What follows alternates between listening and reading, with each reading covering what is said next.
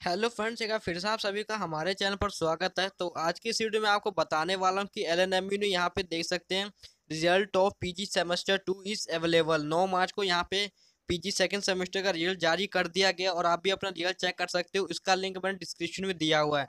तो आपको यहाँ पे क्लिक कर देना click here for PG semester two result तो आपको सिंपली फ्रेंड्स आपको अपना रोल नंबर यहाँ पे टाइप कर देना, उसके बाद सर्च पे क्लिक कर देना, आपका रिज़ल्ट ओपन हो जाएगा। अगर आपको कोई भी प्रॉब्लम हो रहा है तो आप हमको फ्रेंड्स कमेंट बॉक्स में अपना रोल नंबर दे सकते हैं।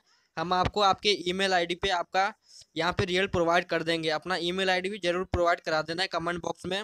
अगर फ्रेंड्स आपको कोई अन्य समस्या तो आपको कमेंट बॉक्स में लिख सकते हैं।